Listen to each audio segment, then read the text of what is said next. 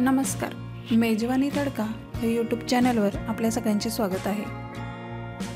आज आपण शिल्लक राहिलेल्या चपातीचा चुरमा बनवणार आहोत. चपात्या मी मिक्सरमध्ये फिरवून घेतलेल्या आहेत. भाजीचा कंटाळा आलाय आणि चपात्या शिल्लक राहिल्या तर हा एक उत्तम पर्याय आहे.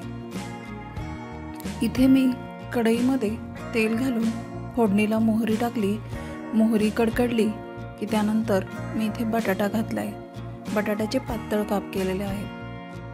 बटाटा भाजल्यानंतर त्यामध्ये मी गाजराचे काप घातलेले आहेत.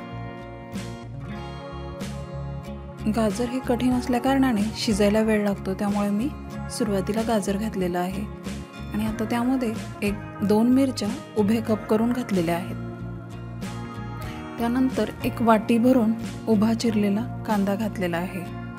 हा चुरमा आपण पोह्यांप्रमाणे करणार आहोत. कांदा छान भाजला की मग आपण त्यामध्ये कढीपत्ता घालणार आहोत.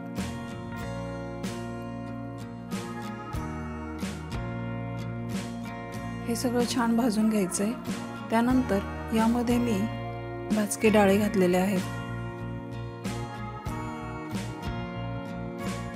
थोडे शेंगदाणे आणि डाळे घालायचे आहेत आपल्याला.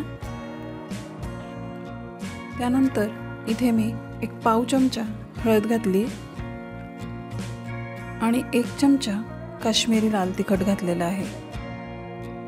आपण हिरवी मिरची घातली त्यामुळे मी इथे काश्मीरी लाल तिखट वापरले तुम्ही काश्मीरी लाल तिखट स्किप करू शकता पोह्याप्रमाणे हे चुरमा पिवळाही करू शकता.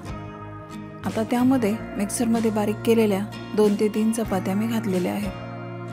आता हे छान मिक्स करून घ्यायचे आपल्याला. चवीपुरता मीठ घातलेले. आणि एक अर्धा चमचा साखर घातलेली आहे.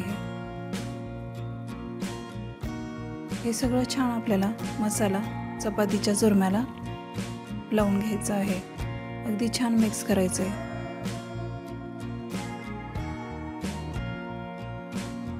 त्यानंतर आपल्याला ह्या चुरम्यावर थोडंसं पाणी शिंपडायचे जेणेकरून त्याला ओलसरपणा येईल.